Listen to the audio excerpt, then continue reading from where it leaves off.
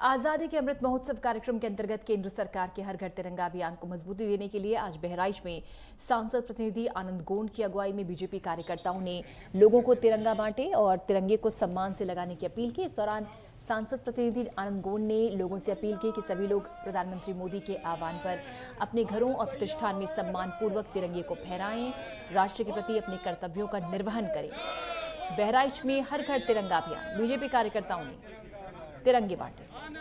सभी लोग जान रहे हैं कि इस समय आज़ादी का अमृत महोत्सव चल रहा है और पूरा भारत पिछले स्वतंत्रता दिवस पर भी और इस बार भी पूरे उत्साह के साथ सभी लोग अपने अपने घरों पर तिरंगा लगाने के लिए उत्सुक हैं। इसी के क्रम में अपने भारत के यशस्वी प्रधानमंत्री आदरणीय नरेंद्र मोदी जी के निर्देश पे हम लोग घर घर तिरंगा लगाने के लिए, सुनिश्चित करने के लिए क्षेत्र में चल रहे हैं। सभी दुकानों पे, सभी बाजारों में और हर घर पे तिरंगा लगे, इसकी व्यवस्था में लगे हुए हैं।